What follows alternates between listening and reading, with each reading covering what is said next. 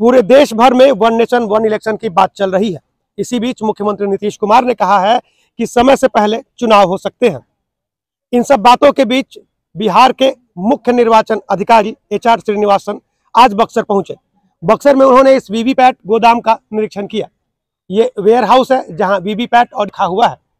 इसका निरीक्षण करने के बाद उन्होंने पत्रकारों से बातचीत की और यह कहा कि उन, उनकी यह नियमित जाँच है। नियमित जाँच के तहत यहाँ पहुँचे हुए थे। उन्होंने बताया कि यहाँ आने के बाद उन्होंने देखा कि वीवीपैट मशीन की क्या स्थिति है। उनके साथ यहाँ पे कई राजनीतिक दलों के प्रतिनिधि भी मौजूद थे हर तीन महीने में इंस्पेक्शन होना है जिसमें सीईओ को भी करना है। ठीक है ना बक्सर मैं बक्सर पहले कभी नहीं आया। मैं सोचा इसी बहाने आ जाऊँगा। इवन मेरा उसका भी देख लूँगा। प्लस हम लोग के जो इलेक्शन ऑफिसर्स हैं उन लोगों का भी एक रिव्यू कर देंगे। कहीं हा- इसी साल चुनाव कराने के तो ये संकेत नहीं है सर। ये सब भारत निर्वाचन आयोग निर्णय करता है। हम भारत निर्वाचन आयोग का जो आदेश होता है उसका अनुपालन करना ही हमारा काम है और कुछ नहीं। क्या पाया सर आपने? मतलब क्या क्या निरीक्षण के दौरान क्या हुआ? ये सब सही पाया है। जो इलेक्शन कमीशन का निर्देश है गाइडलाइंस है उसी के मुताबिक किया गया है। सभी पॉलिटिकल पार्टी का रिप्रेजेंटेटिव्स भी है। सारी डबल लॉक में है सील है सील्ड है। जिस तरह से सर मुख्य निर्वाचन पदाधिकारी भारत के द्वारा यह कहा गया है कि हम एक महीने में भी चुनाव करने की तैयारी करा लेते हैं। तो इस पर कई सवाल उठ रहे हैं कि आप लोग अचानक आ गए हैं। इस पर बात नहीं कर और कोई ईवीएम वगैरह उसके बारे में कुछ पूछना है तो एकदम से एकदम ठीक है और जितना ज़रूरत है उससे बीस परसेंट अधिक ही मशीन हम लोग मंगवा के रखे हैं। नवंबर महीना महीना में ये सारी मशीन्स का चेकिंग करने के लिए कंपनी के इंजीनियर्स आएँगे उस समय मैं सभी पॉलिटिकल पार्टी को रिक्वेस्ट किया हूँ कि वो भी अपने अपने प्रतिनिधि को रखेंगे। पंद्रह बीस दिन चल चलेगा प्रोग्राम उसमें वो लोग मशीन को चेक करें ईवीएम यहाँ हमने राजद के जिलाध्यक्ष शेषनाथ सिंह से बात की। उन्होंने कहा कि इंडिया गठबंधन से भाजपा बुरी तरह डरी हुई है। प्रधानमंत्री नरेंद्र मोदी कभी भी मध्यावधि चुनाव करा सकते हैं। हम लोगों को यही लग रहा है कि जो पार्लियामेंट अचानक चलाया गया ये जो जाँच पर जाँच हो रहे हैं इससे तो संकेत यही मिल रहा है कि मोदी जी घबराए हुए हैं और उस घबराहट में लोग चुनाव करा भी सकते हैं। हो सकता है। हो सकता है मे भी आपका इंडिया गठबंधन तैयार है क्या? इंडिया है? गठबंधन तैयार है? इंडिया गठबंधन से तो जाड़ हो गई है बीजेपी को। और उसी ठंड की हवा जो लगी है तो ये भारतीय जनता पार्टी वाले लोग घबरा तो ये मोदी का सही कदम है क्या? मोदी का सही कदम है। हो सकता है। अब उसके बारे में पूरा हम नहीं बता सकते। लेकिन हो सकता है। आज मुख्य निर्वाचन पदाधिकारी दिन और ये भाग दौड़ चल रही है और उस हिसाब से तो यही लगता है कि मोदी जी घबराए हुए हैं डरे हुए हैं। चुनाव बीच में पार्लियामेंट का उन्होंने सेशन बुला लिया। ये सब उसी का संकेत है कि चुनाव हो सकता है। आज मुख्य निर्वाचन बात तो दूसरी है ना भाई। यहाँ तो मैंने देखा कि है वीडियो ऊपर जार सारा सामान एक जगह रखा हुआ है। अब वो तो इंजीनियर बताएगा कि इसमें क्या है नहीं है क्या होगा नहीं होगा। वो तो बात की बात है। हाँ। बिल्कुल ठीक ठाक हाँ ठीक ठाक से रखा। हालाँकि उन्होंने कहा कि इस बार भारी बहुमत से इंडिया गठबंधन की जीत होगी। वहीं दूसरी तरफ़ हमने इस संदर्भ में लोजपा रामविलास के जिलाध्यक्ष अखिलेश सिंह से बात की तो उन्होंने कहा कि वन नेशन वन इलेक्शन बेहतर फॉर्मूला है ऐसा पहले से होता है और होना भी चाहिए।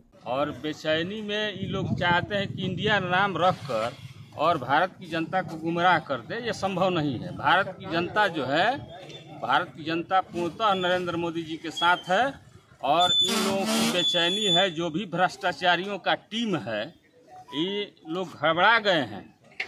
इसलिए कि आदरणीय नरेंद्र मोदी जी ने चुन चुन कर जो भारत के जितने भ्रष्टाचारी हैं वो जेल के सलाखों के पीछे भेज रहे हैं तो इन लोगों का डर बन गया है कि अगर नहीं हटाएँगे हम लोग मिलकर तो फिर हम लोग की जो राजनीतिक ज़मीन है वो समाप्त हो मध्यावधि चुनाव का आसार है क्या?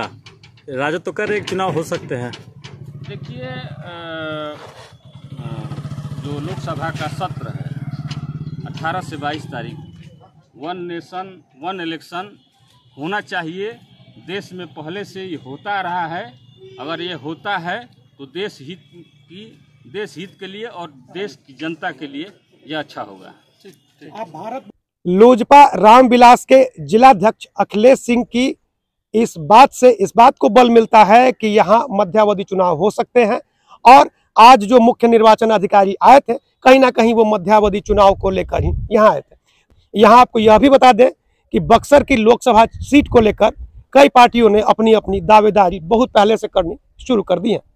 जब यहाँ भाकपा माले के दीपांकर भट्टाचार्य आए थे और उनसे पूछा गया था तो उन्होंने कहा था कि यह सीट उनकी भी हो सकती है और वह भी यहाँ से चुनाव लड़ सकते हैं।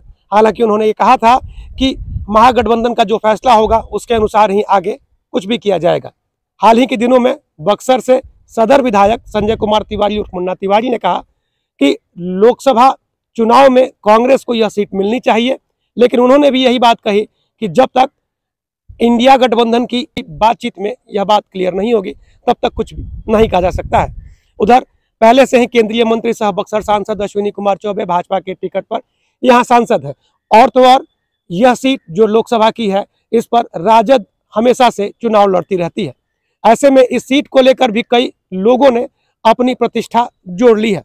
बिहार सरकार के पूर्व मंत्री ददन पहलवान ने भी कहा है कि इस सीट से वह अश्विनी चौबे की छुट्टी कर देंगे। उधर पिछले दिनों आनंद मोहन जब बक्सर आए थे तो उन्होंने भी कुछ ऐसे ही संकेत दिए थे। उन्होंने भी जदयू के समर्थन में ऐसा कहा था कि इस सीट से जदयू भी चुनाव लड़ सकती है। ऐसे में कई पार्टियाँ इस सीट से दावेदारी कर रही हैं। तो बक्सर की सीट पर किसकी दावेदारी होगी, यह तो आने वाला वक्त बताएगा।